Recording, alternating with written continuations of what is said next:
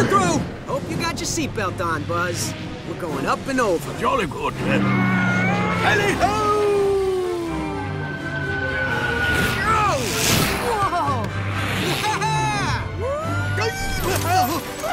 I'd love to be able to do those flips and flybys. And Dude, I could do those one propeller tricks in my sleep. these aren't really made for the sky. How do you do all that? Whoa, whoa, easy there, kiddo. It's just practice.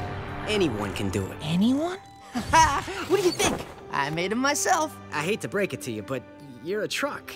You can't fly like me. You said anyone could with practice. And with these new wings, I can. Oh, poor chap. He's so busy trying to be like you, he simply can't see what's so special about himself. If you ask me, there's nothing at all wrong with trucks. Hey, does he have certification for that? See?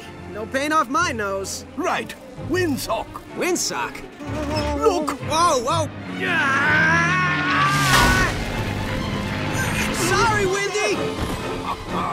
Very good. Put down the landing gear! You call that a nice landing? That could have ended in tears. You okay back there, Buzz? Oh, yes, quite lovely. Keep trying there, Mikey. Someday, you might even be as good as me. You clipped your wing pretty bad. I don't think you can fly for at least a week.